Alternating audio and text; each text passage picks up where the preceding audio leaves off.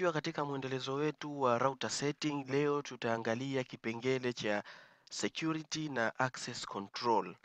Kama uliangalia video iliyopita, tuliangalia zaidi zile settings za msingi kabisa, na kwa sasa nitaegemea zaidi katika uh, security. Kama kawaida yetu, ili uweze kuaccess router yoyote au router yako, ni lazima uwe umekuwa connected nayo. Hivyo ni lazima ujue IP address ya router. Nitaandika IP config, then nitachukua gateway ambayo hii ndiyo itakuwa IP address ya router yangu. Nitaipaste katika browser, then itataka credentials za kuingia katika router, admin admin. Tayari nimeingia katika router na nitaanza na vipengele vya security. Maeneo ambayo nitadeal nayo kwa leo ni IP address fil uh, filtering. Nitadeal na la LAN port, uh, one port, domain filtering, remote management, uh, parental control na access control. Kwa kuanza kabisa nitaanza na IP address filtering. Uh, filtering hutumika kuzuia internet kwa watumiaji wa uh, IP address maalumu. Kwa hiyo tutachagua watu ambao tutawazuia. Hapa ili uweze kutumia uh, filtering ni lazima uwe ume enable uh, firewall na uwe ume enable IP address filtering. Kwa hapa hakuna sehemu ya ku enable, hivyo basi tutakwenda katika firewall. Kwa mujibu wa router yangu ziko tofauti uh, na enable firewall na nafanya enable IP address filtering, halafu nita save. Nikienda katika IP address filtering nitaona kwamba imekuwa enable. Uh, hivyo nitaanza ku, ku add hapa hapa nitatakiwa niweke time. Hii time ni wakati gani natakiwa nizuie access ya internet. Uh, nitaweka kuanzia saa mbili na usije ukaweka dot hapa mpaka saa kumi na mbili jioni. Um, then nitatakiwa niweke LAN IP address. Uh, IP address ni address ambayo inatumika kuitambua kompyuta kama ilivyo MAC address, lakini IP address ni, ni una, unaiset mwenyewe, ni rahisi kuichange. Hapa tutaweka IP address na ukitaka kujua IP address yako utakwenda CMD, uh, utaandika IP config kama nilivyoandika mwanzo, itakuja. Hii ni IP address yangu. Uh, hapa mimi natakiwa niweke IP address ya kompyuta ambayo nataka niifunge ama simu au device yoyote. IP address yake utaiweka hapa. Mimi nitapendelea kuweka uh,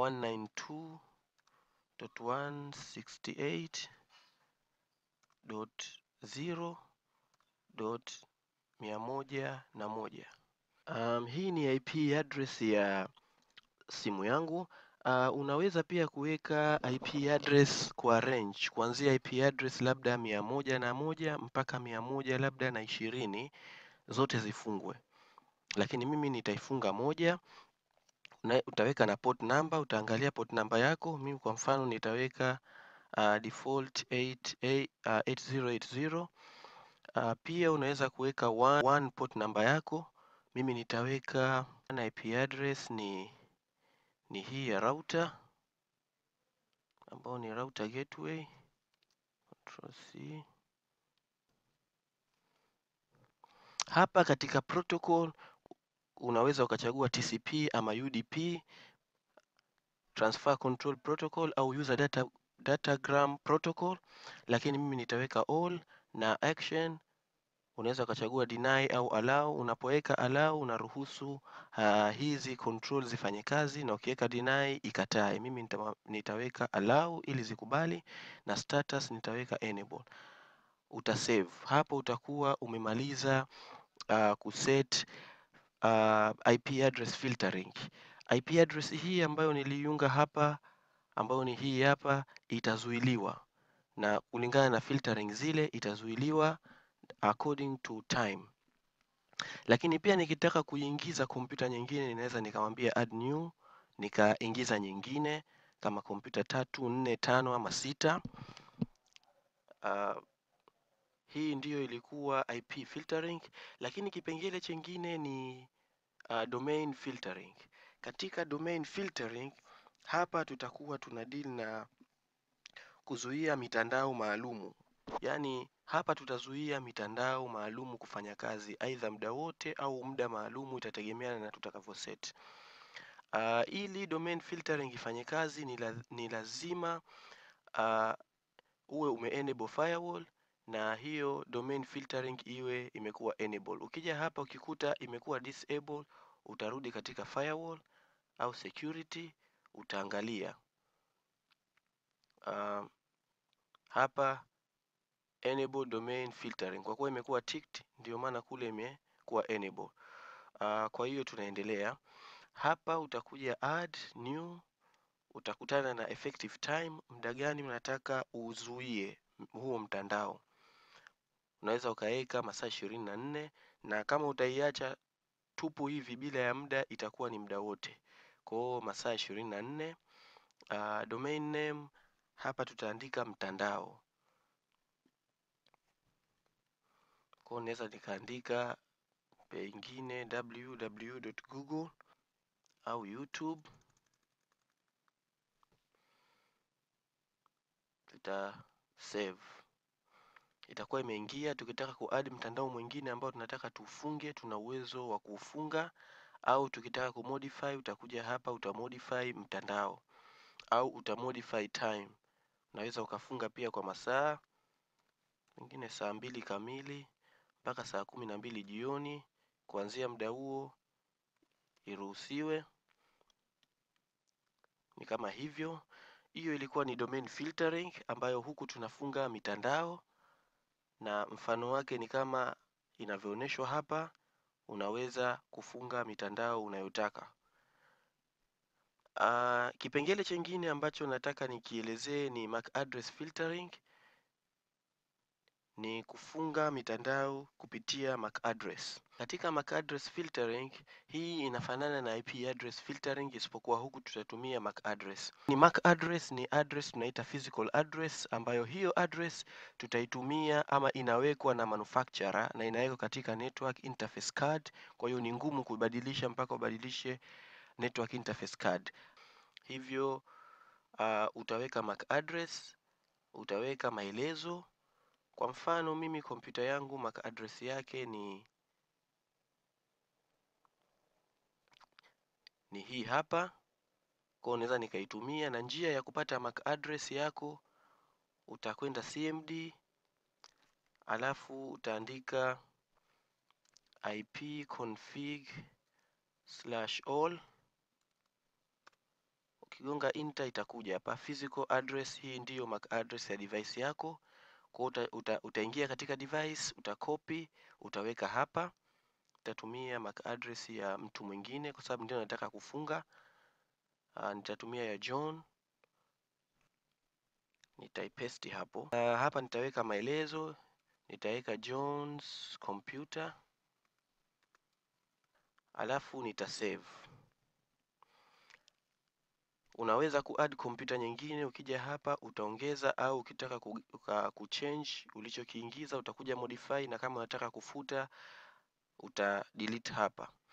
Kipengele chengine ambacho nataka nikigusie ni local management, ambayo hii hapa tunakwenda kumanage kompyuta ku access router. Tunajua kwamba uh, router wakati unapoitumia ndio unaweka kanuni hivyo ili uweze kuzuia watu wengine wasije kuingia katika router, yani eneo hili ambalo sisi tupo, una uwezo wa kuchagua kompyuta maalumu ndio ziwe zina uwezo wa kuingia katika router yako. Hivyo unaweza kuzitambulisha kompyuta gani na kompyuta gani zipewe ruhusa na nyingine zisipewe, zisipewe ruhusa. Hapa ukiangalia utakuta kuna IP address ambayo IP address hii ni ya kwangu, lakini ili uweze kuingiza chochote hapa ni lazima uchange kutoka all the PCs on the LAN are allowed na ije only the PC listed can be browsed. Kwa hiyo tuta click hapa, halafu hapa utalist computer. Uh, hii hapa ni kompyuta yangu, niki click add itawekwa. Kwa hiyo naitambua kompyuta yangu, nina uwezo wa kuchukua IP address nyingine uh, nika um, sorry MAC address nyingine nika copy alafu nikawa na paste huku, hivyo kila nitakayoiweka hapa itatambuliwa na itaweza kuingia katika router setting. Nikisave hizo zitaingia, nyingine zote hazitaruhusiwa kuingia hata kama watazijua password na username. Kitu chengine katika udhibiti ni parental control. Hii ni aina fulani ya udhibiti ambayo ni nzuri na inatumika sana kwa mzee kudhibiti watoto. Hata kama hayupo, ana uwezo wa kufanya setting zikawazuia watoto kutumia katika muda ambao hawatakiwi kutumia au katika siku ambazo hawatakiwi kutumia au katika mitandao ambayo pia hawatakiwi kutumia.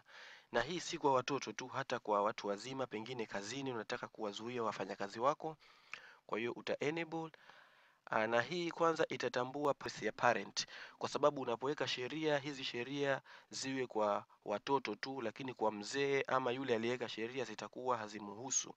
Kwa hiyo ni lazima itambue nani ni mzee, yani controller na nani anawekewa hizo sheria.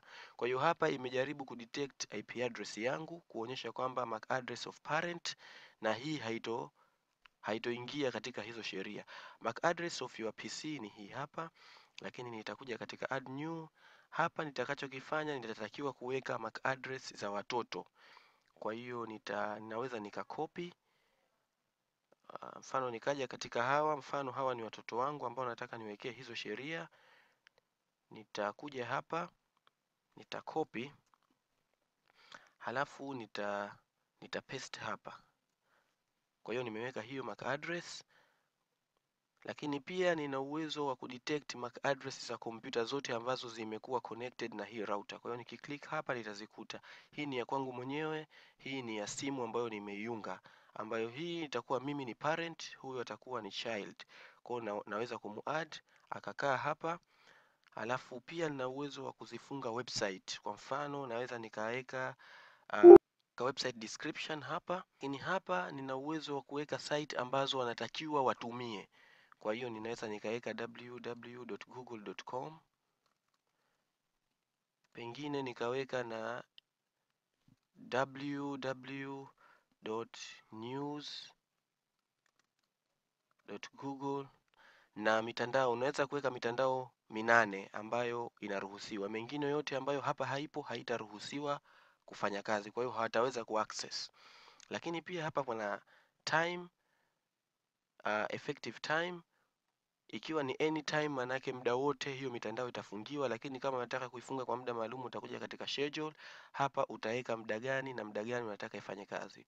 Utaondoa everyday, utachagua siku ambazo unataka mitandao izuiliwe, pengine Jumatatu mpaka Ijumaa, Jumamosi na Jumapili waweze kutumia mtandao wowote. Lakini pia kwa masaa unaweza ukaweka 24 hours izuiliwe, ama utachagua masaa gani na masaa gani izuiliwe, utaweka hapa. Chengine ambacho nataka nikizungumzie ni access control. Kwa upande wa access control tuta tutakuwa tunadhibiti internet na huku udhibiti wake ni mkubwa kuliko control nyingine. Kwa hiyo hapa tuta, tutaangalia uh, users na baadhi ya kanuni. Tutakuwa tuna control mpaka kutumia protocol.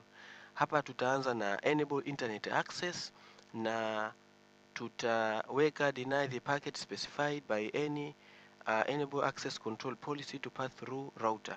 Hapa tutazuia zile kompyuta zote ambazo zimewekewa vikwazo zisipate huduma. Kwa tutachagua deny, alafu uta save. Hapa kuna option mbili, unaweza ukatumia setup wizard ambayo hii itakuongoza kuweka setup au utakwenda add new. Ukienda add new utakutana na kitu kama hiki hapa, na humu utakuwa unaingiza halafu humu kutakuwa na link utajaza, lakini hii kidogo ni ngumu kwa mtu ambaye sio mzoefu. Ni vizuri zaidi na inapendeza kutumia uh, with, uh, setup wizard. Tukiwa katika setup wizard, tutachagua ni mode gani tunataka tutumie, kama ni IP address au tunataka tutumie MAC address. Uh, mimi nitachagua IP address, halafu host name, name nitaweka high top toptech na LAN IP address nitaweka uh, IP address um, then kuna target description pia nitaweka high top tech. So IP address yake ni ile ile. Target port uh, hapa utachagua protocol then itakaa yenyewe. Uh, mimi nitachagua transfer control protocol. Tunataka tuzuie transfer ya data ukitaka utaweka all let me put all. Uh, hapa nitachagua file transfer protocol ambayo hii itaweka uh, port yenyewe. Tukiclick next tutatokea sehemu ambayo tutatakiwa tuweke schedule. Na hapa any top tech nitaweka jina hilo then nitakwenda mbele. Tutaweka rule name yetu all unaweza kuweka jina lolote then finish. Tutakuwa tumemaliza kutengeneza uh, hizo access control. Asante sana kwa kuendelea kuwa nami. Kama umeona kuna kitu chochote ambacho kimekusaidia katika video yangu au umekipenda tafadhali usisahau kulike kushare na kusubscribe video yangu